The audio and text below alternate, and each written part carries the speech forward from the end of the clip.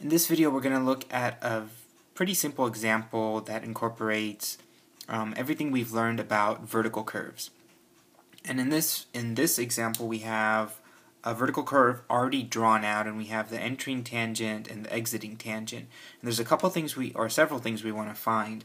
Uh, first of all, uh, we want to find out what the elevations of BVC and EVC are. So BVC is the beginning of vertical curve and EVC is the end of vertical curve. Um, and we also want to find out the elevation of this point, this point right here, located right at the PVI. Um, the third thing we want to find out is where the highest point on this curve is located. And the last thing we want to find out is what the elevation of that highest point is. So we need to find the elevations of BVC, EVC, uh, this point right here at the PVI, and then also um, the elevation of the highest point on this curve. And if you remember, most vertical curves, the highest point doesn't occur at the middle of the curve. In other words, the highest point is not always at the PVI. Um, in this case, this is a crest curve, so we have um, a high point. If we had a sag curve, we'd have a low point. Um, so the first question was to find the elevation of BVC, beginning of vertical curvature and that's located at um, station station 20 here. And then the end of vertical curvature is located at station 30. Uh, that means the length of this vertical curve is 10 stations long. So the first thing we want to find out is the elevation of BVC and EVC. And we can do that pretty simply. Um, we know the elevation of PVI and we know the grade. And we also know that PVI is located at 25 plus 0, 0. It's at the, it's at the middle um, of this vertical curve. So we can use the 608 elevation of PVI. We can use the distance of uh, 20 and 25, so that's 5 stations. Um, and we also have the grade. Entering grade is 2%, um, so simply 608 minus the grade times the distance in stations, so this is in percent, well you would keep it as, as the number as it is in percent times the station.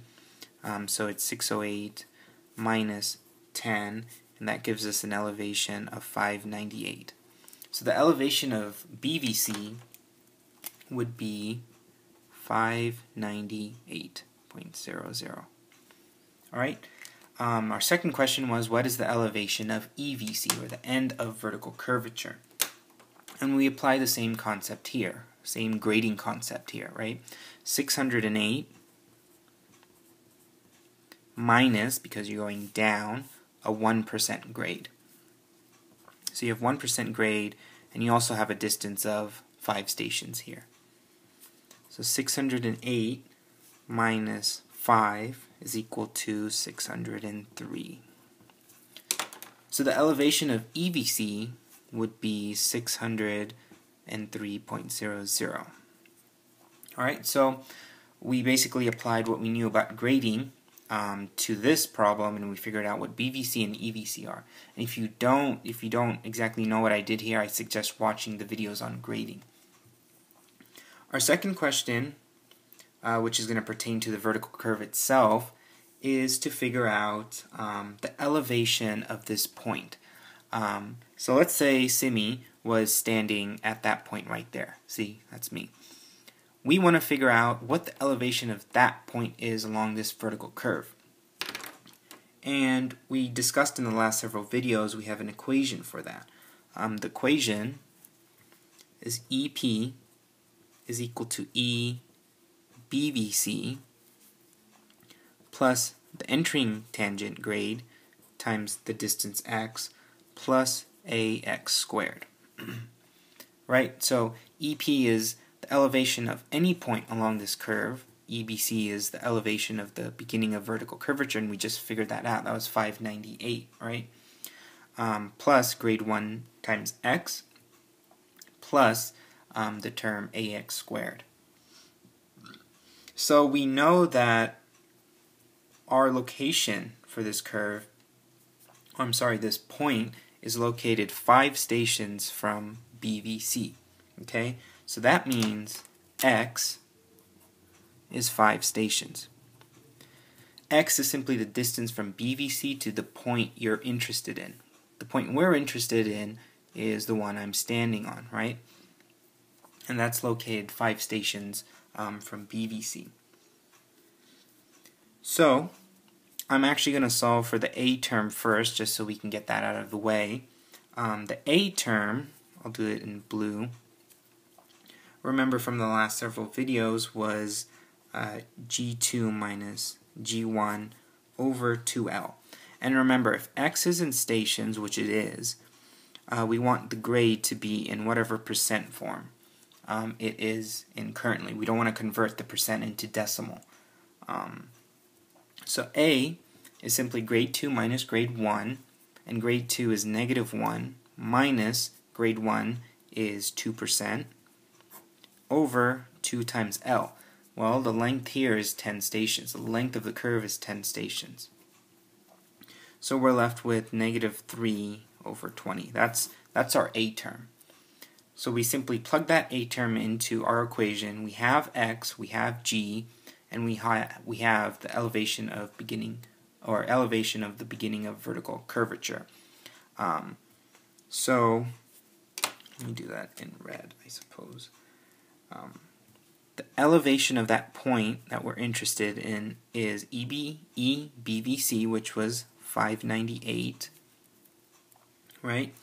Plus grade 1, which was 2%, times the distance 5, plus our A term, which is negative 3 over 20, times 5 squared, x squared, right? If we do the algebra here, we'll have 598 plus 10 um, plus, I'm sorry, minus uh, 3.75, and 3.75 is this term, right, negative 3.75. And if we do the math, um, EP is going to be at an elevation of 604.25 feet, right? So EP, which is this point right here, is 604.25. Alright, so there's also another way to do this. Um, if your x was in feet, your grade would be in decimal, right? So 598, and this is I'm just showing you that um, you you have to stay consistent with consistent with the distance and with the grade. So in this term or in this equation, we made sure our grade was in the percent form it's in, and then x is the distance, and we kept it in stations. Let's say, let me erase this or cross it out. Let's say we wanted x in feet, and we wanted the grade in uh, decimal, right? So let's plug it in as x is equal to feet, or x is in feet, and the grade is in decimal form. We still have the 598. That doesn't that doesn't change. That's your elevation.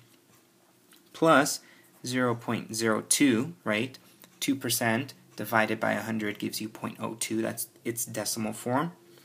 Um, and then remember, x to, from stations to feet, you would simply multiply x by 100. So our x was 5 stations, or 500 feet plus our A term, and let me do A on the side here really quick. Um, A would be negative 0.01 minus 0.02 over 2 times the length. The length is in feet, so 10 times 100 um, is 1,000. And if we multiply, or I'm sorry, if we do this, we're going to get A is equal to negative 0.000 0.015. Okay, so if you plug that in, negative 0.000015 times x squared, or 500 squared, um, we should get the same thing, 604.25 feet. Alright, so in the next video we're going to look at um, the highest, or finding the location of the highest point, and then using that information to find uh, the elevation of the highest point.